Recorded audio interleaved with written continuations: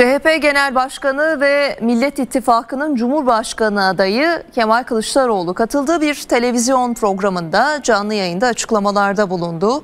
Kılıçdaroğlu'nun takdir incenin ama hedefimiz ilk turda bitirmek kendisiyle görüşeceğim sözlerine Memleket Partisi lideri Muharrem İnce'den yanıt geldi. Candaş Tolga Işık'a konuşan İnce kendisi ağabeyimdir görüşürüm ama adaylığımı pazarlık konusu yapacağım anlamına gelmez dedi. Elbette Memleket Partisi'ni de ziyaret edeceğim. CHP Genel Başkanı Kemal Kılıçdaroğlu, Memleket Partisi lideri Muharrem İnce hakkındaki sorulara böyle yanıt verdi.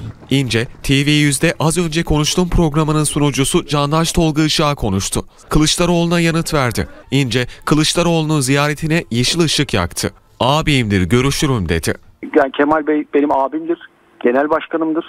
Ee, onu dinlerim, görüşme tarafı te- talebini de memnuniyetle kabul ederim, görüşürüm dedi. Tek bir burada şeyim var, kriterim önce bu 100 bin imzayı toplayacağım ben arkadaşlar.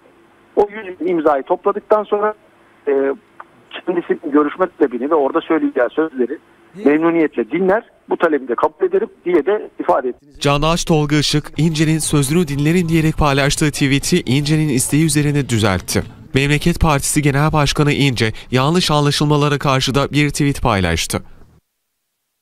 Kemal Bey benimle görüşmek isterse elbette görüşürüm. Kendisi benim eski genel başkanım ve abimdir. Söyleyeceklerini dinlerim dedim. Görüyorum ki sözlerim sözünden çıkmam gibi tuhaf bir manaya çekiliyor.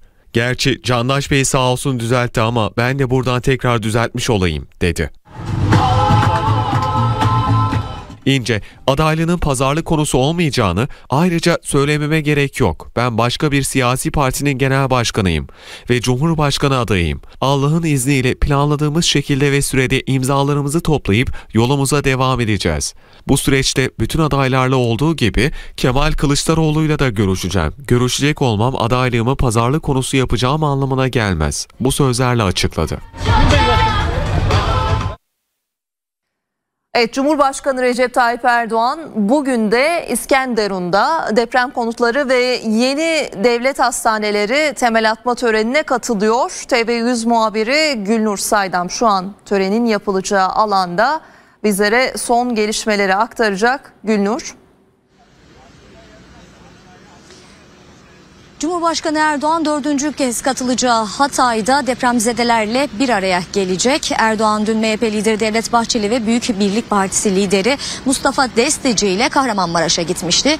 Bugünkü ziyaretinde ise Hatay'da ilk olarak gerçekleşecek olan afet konutlarının ve devlet hastanelerinin temel atma törenine katılacak. Saatler 16'yı gösterdiğinde hemen arkamda görmüş olduğunuz İskenderun Yeni Kaymakamlık binasının önünde gerçekleşecek program. Törenin ardındansa yine Erdoğan depremzedelerle iftar yemeğinde bir araya gelecek, sohbetler edecek. Bizler de yine kameraman arkadaşım Serkan Topal'la beraber program an be an takip ediyor ve detayları da yine sizlere aktarıyor olacağız diyelim. İskenderun'dan sözü yeniden stüdyoya bırakalım.